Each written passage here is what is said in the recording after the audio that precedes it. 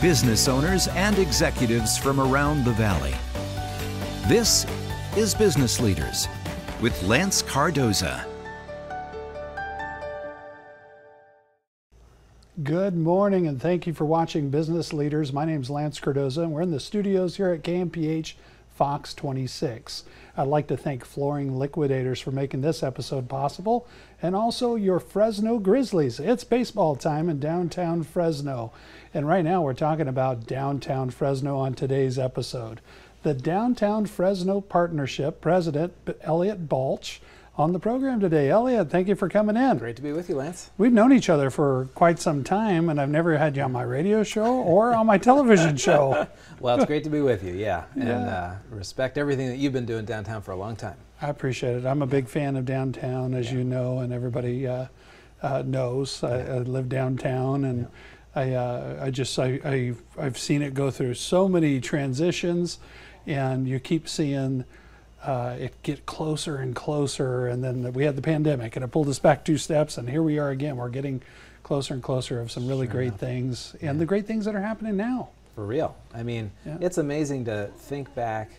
You know, even 10 years ago, and some of the things that we see happening with people out on the street by the thousands uh, on an art hop night, those first Thursday evenings, you know. Yeah it wasn't that long ago that we could hardly imagine a soul being out on Fulton Street yeah. or the Fulton Mall for those nights. So we have to we do have to take a pause sometimes and recognize how far we've come. Yeah, I remember a day, and I think it was Mayor Swearengin, yeah. and you remember it was a march on the mall. That yeah. was the mall then before that they was, opened it up to a street. That was pre-mayor Swearengin. That was yeah. pre-mayor. That's right. That was before she took office. And uh, she had a megaphone, and we, we did a reenactment of all these cool things that could happen down there if it was an open street or just the mall. And, and uh, you look back now and you take a look at it, and it's happening. Yeah. Those things are happening and it's starting to happen. Yeah. And um, it's hard because you can't convince maybe other parts of the city to come down and uh, invest in downtown or be a part of downtown, but there is an urban culture there of is. people and people that live there that yeah. see the uh, you almost see the forest through the trees. You totally, and and there's a regional need. You know, yeah. like uh, downtown is obviously an important part of our city, heart of Fresno, but for folks in Fresno, the metro area, and and well beyond, it is that place that's special. That's something they can't get in their home community or neighborhood. And so that's that's really what we see when downtown is cooking. I mean, you look out and you see a great cross section of our valley population that's young, young families, and yeah. just folks. You know, they people want more. Yeah, yeah, they want more of it. Yeah. And uh, my daughter, she opened Hummus Republic right. downtown Fresno, yep. and I remember she was like, "Daddy, downtown." She knew I believed in downtown. She knew she loved downtown because she grew up yeah. being downtown.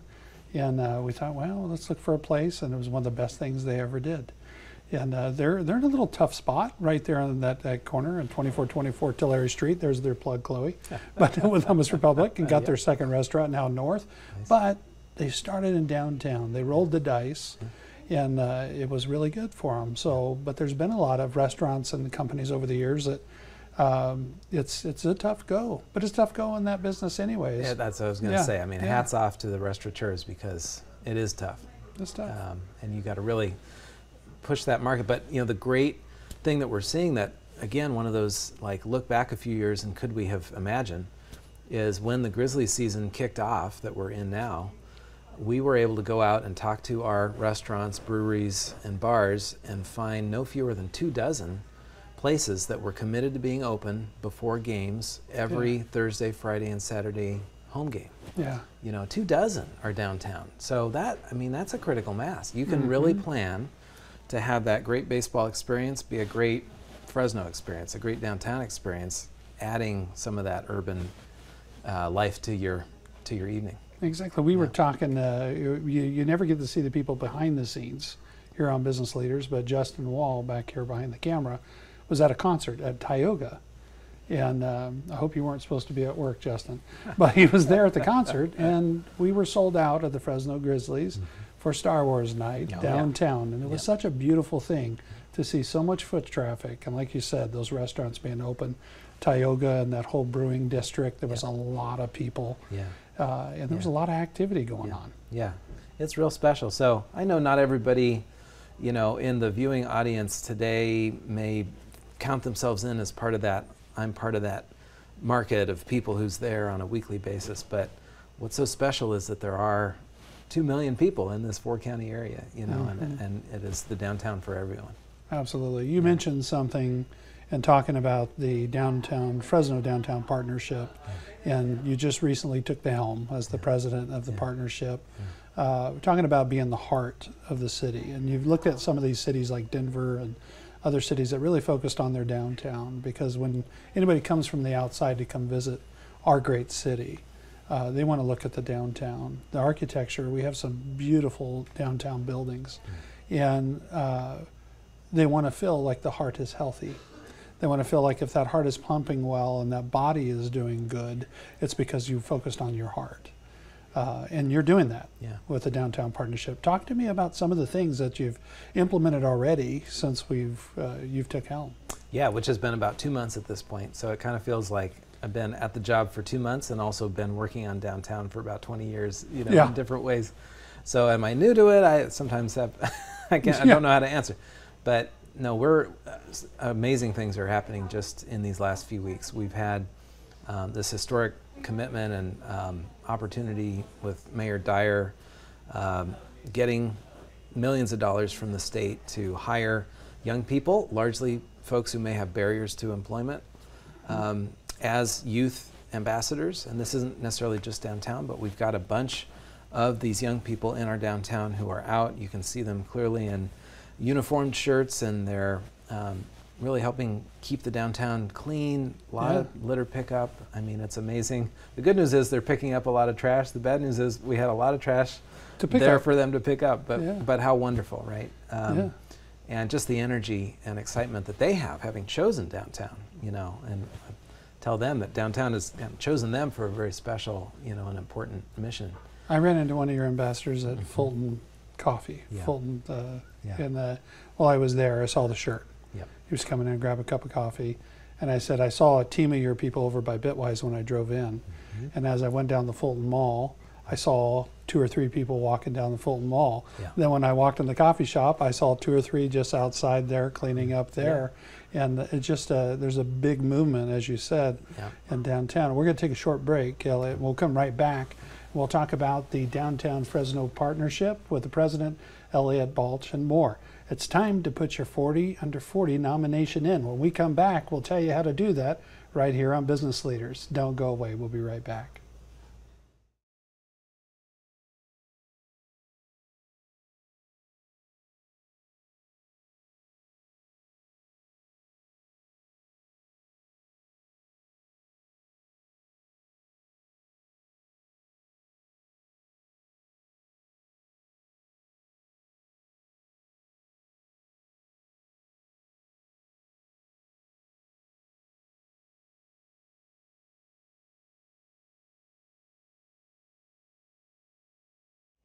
Welcome back to Business Leaders. If you'd like to catch this episode and other episodes of Business Leaders, go to businessleaders.tv. That's businessleaders.tv. And if you get podcast and you want to listen to this episode and the rest of our catalog of episodes, you can get it at Business Leaders with Lance on wherever you listen to your podcasts. Before we went on the break, we were talking about the 40 under 40. And my guest today, the president of the Downtown Partnership, Fresno, Elliott Balch, was in the original class right here in Fresno in 2007. Elliott, you were in our first 40 under 40 class. It was downtown, uh, the downtown club. Yep, it was, and I was under 40 then, uh, Yeah. which was, was great to remember that long Yeah, ago. yeah.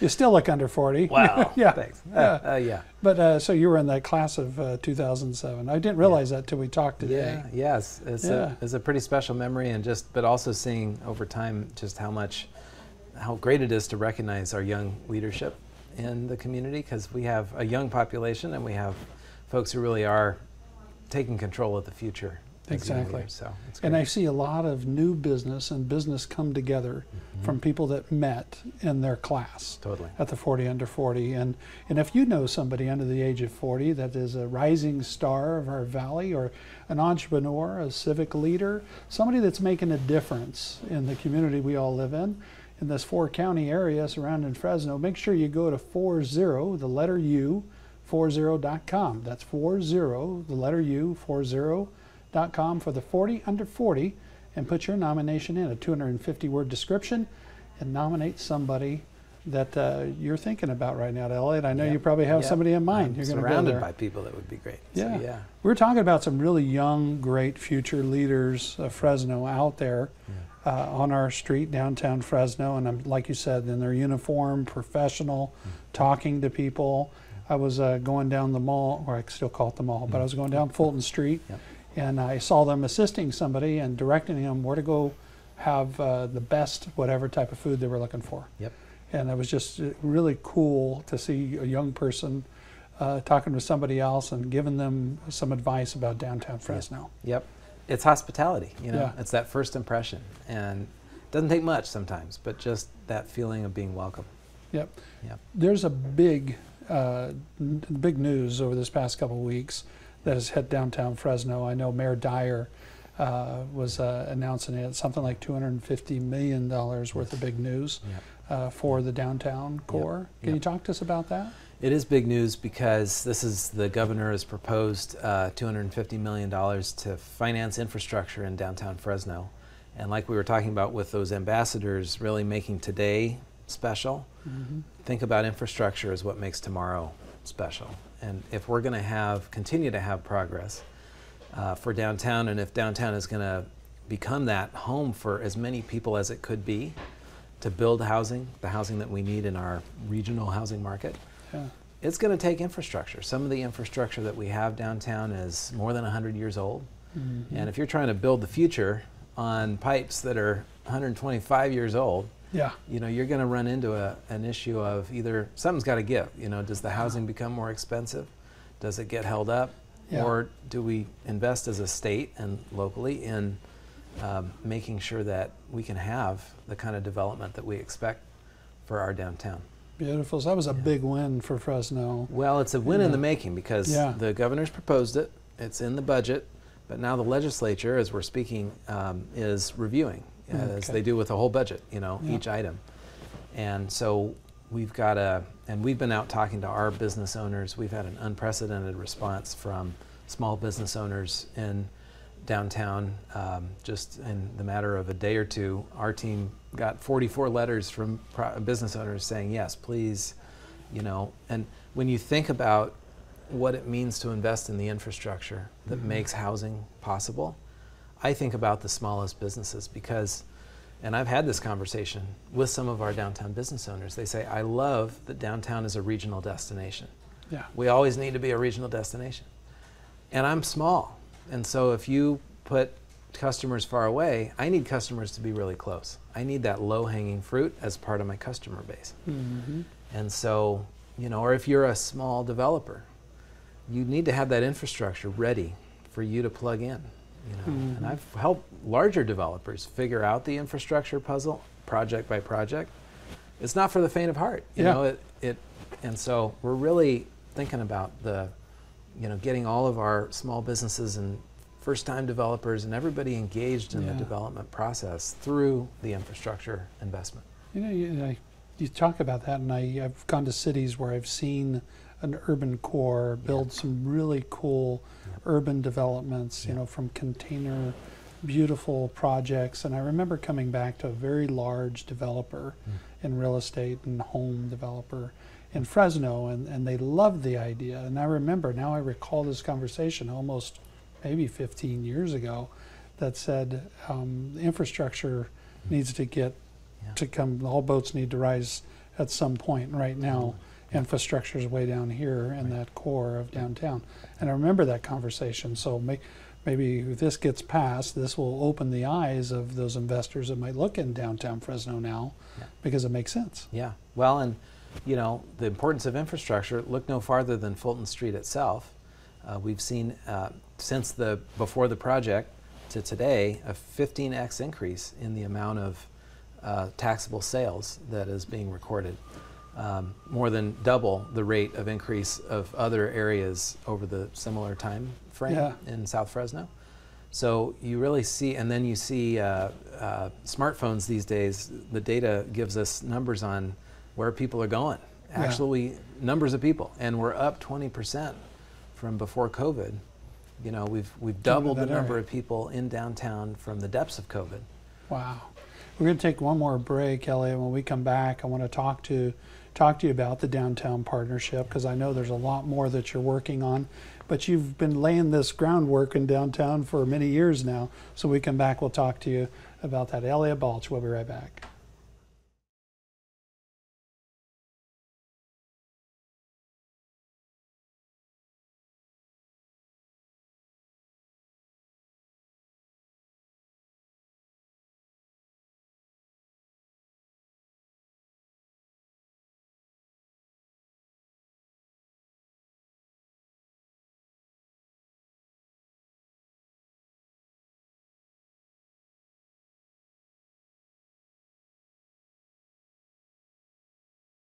Welcome back to Business Leaders. I want to remind you earlier in the show we were talking about the 40 under 40.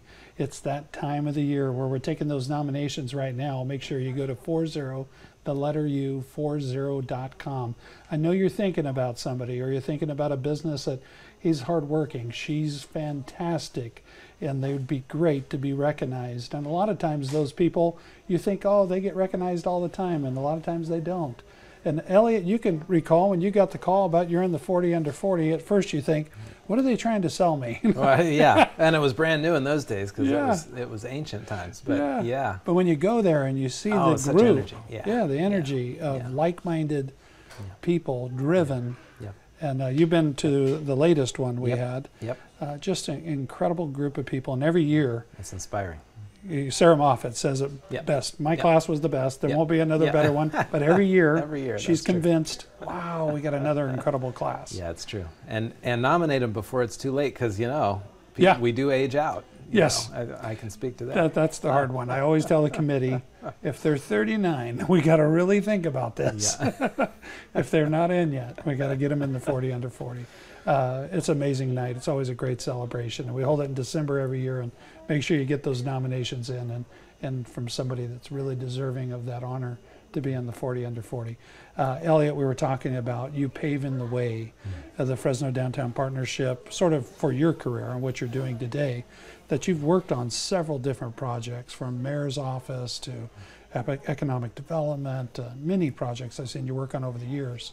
Uh, do you sort of see all those roads coming together with yeah, it makes perfect sense in retrospect. Yeah. If only if only somebody had told me that it would. yeah, but there was a reason you're doing all There's these There's a things. reason, and it does all tie together and build on on itself. But in 2007, at that 40 under 40 you know year, I mean, I was involved with the organization called the Downtown Association, Mm-hmm. which had its roots from 1955. You know, this idea that uh, property owners and business owners in particular could get together and take on problems that were bigger than any one owner, one you know individual could could address by themselves. Yeah. And so the the idea has always been there that we're together, we're we're greater than the sum of our parts. Yeah. Uh, and so, you know, that organization was underfunded, and so that was one of the things that um, got us working together with property owners to approve a new concept, a Mm-hmm. property-based assessment district, property and business improvement district. That's what they call the PBID. PBID, Yeah, the correct? PBID. Yeah. That's what it stands for, and it's it's an extra property tax that property owners pay in downtown, where we do marketing, we do clean and safe programs like those ambassadors we were talking about earlier, or um, making sure events happen on Fulton specifically. So. Um, those are some things that no individual property owner could do by themselves. If you go to a shopping mall, you have one owner Mm-hmm. taking care of those things for everybody. So to compete with that dynamic, we've got to have um, we've got to have these kind of services. Yeah. But then what's really special is that's the foundation of things. Together, being together, working together, we can identify what are the things we need to advocate for. We can work on is this a good environment for development to happen? Yeah. figure out help figure out financing and broker relationships and some of these things together uh, or take on projects that you know may not pencil on their own but would sure help everybody if they were there. Everything from restrooms to childcare to, Yeah. you know, where's a All boutique hotel, right? It Exactly, out yeah. produces a lot of benefit for everybody else. So we're we're in this position as the ownership association to take on these things that everybody no one person is incentivized to figure Yeah. out, but that everybody's incentivized to figure out. Exactly, and, it- and it's a it's you're not in alone. Right. You're as the business owner, you're not in this alone because there's Yeah. no way you could afford Yeah. to do what you need to do, like the partnership can do for them Yeah. as well. So I almost feel like it's a, and that was one of the things my daughter picked downtown as a restaurant. There's Yeah. there's something, there's an incentive in there beyond Yeah. just coming in and signing a lease and hoping your anchor stores are going to draw you traffic. Totally. Uh, Yeah. That you could come in with like-minded people Yeah. and participate and grow Yeah. uh, with it as well. Yeah. And I've always told her with downtown, it's uh, it's coming. It's always Yeah. coming, and and I've seen it change so much over the years. And it's always every year it's something new that's coming, Yeah. Yeah. yeah. and uh, it's a perfect uh, time to be Yeah. downtown Fresno. But you know, success breeds success with anything. Yep. Right. And so, having been involved, like you said, with the administration, worked for five years at the city on Fulton Street as well, and you know that project turned out well. There's been successful outcomes. We see the Mhm. people out on the street. You know, people want to get more involved. They see the they see what's possible when we're working together. Yeah. So, you know, as a business owner, it's one of the most independent things that you can do in America, right? Is Yeah. to do that. But yet, uh, so many of our business owners and property owners want to be part of this community because they Mhm. know that we can do more together. We can do more. And I tell people all the time, you know, you know, I've been here in downtown's core for a long time, and we're running out of time, but I got to share this short story that you look at the, the success of Chicken Shack with Damon, and you look at uh, next door, there's the sushi Yep. store. Toshiko. They were owners out of the area Yeah. that saw a change in downtown Fresno and said, Yeah. now's the time Yeah. and they took a risk and look what it's doing for them. So I tell business people in Fresno, Yeah. now's the time. You Yeah. really need to look at it. Yeah. And some of your bigger uh, companies that are north and Clovis and other places, take a chance on downtown Fresno. Last word, anything? Well, you know, what's great about that too is that when we go as Fresnans to another city, we look downtown for what's going on. So think about that as other people are coming to Fresno. Absolutely. that's- that's you got you got to give them a good uh, look right in the beginning. And that's it. downtown's a lot of fun. Yep. I bring people down there all the time. That's all the time we have. We'll have business leaders every Tuesday morning right here on KMPH Fox 26.